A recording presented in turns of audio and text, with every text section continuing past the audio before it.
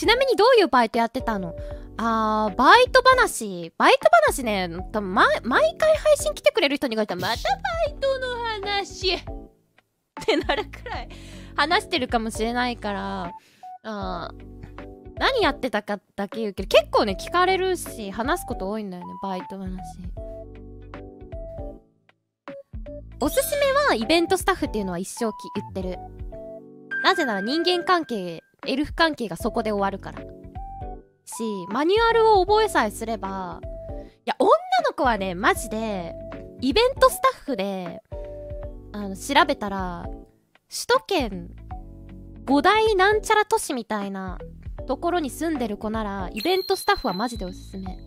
ちょっとなんかコスプレっぽい衣装なみたいなのを着て、キャンペーンガールみたいなのをすると結構ね、いいんですよね。どんぐりが。どんぐりが弾む。その代わりなんかその日限定でなんかマニュアルを覚えたりしないといけないんだよね。うん、でもガキンチに水鉄砲で水かけられたりしない。あるある。そういうのもあった。まあ、けど、どんぐりが良かったから我慢した。